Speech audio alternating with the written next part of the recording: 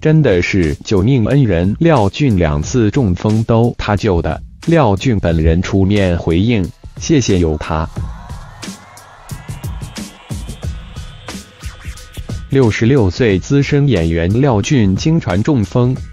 为了怕粉丝朋友担心，同样身为演员的儿子廖锦德特地开直播跟大家分享爸爸的病情。他说：“爸爸去年十二月三十日，爸爸就中风，因此送医治疗这一阵子都忙住照顾爸爸，担心病情加重，所以都没有对外公布。”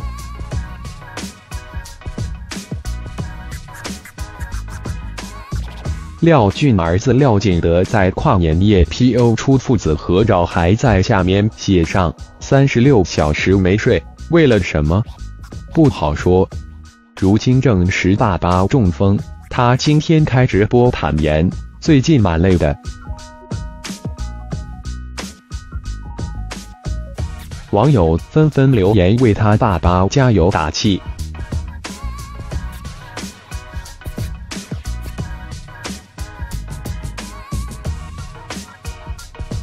根据媒体报道，廖俊中风时刚好到好友蔡健贤公司聊天泡茶，而一旁有营养师背景的女演员许琼月也在发现廖俊突然走不稳且手脚无力，量血压更一度飙升到一百七十，他当机立断，立刻把他送往临近的医院，只花十分钟，掌握了中风时的黄金三小时。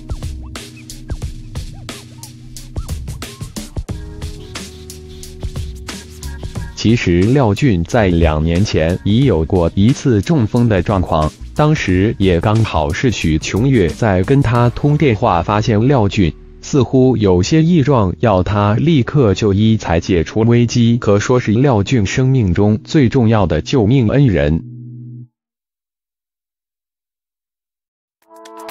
两次中风身边都刚好有许琼月在，这真的是老天爷在帮廖俊啊！幸好许琼月有护理方面的知识，才可以把握中风的黄金时间。而我们廖俊也怕大家替他担心，特地在脸书上 PO 文并附上手指爱心，跟大家表示自己现在正在休养，要大家不要担心。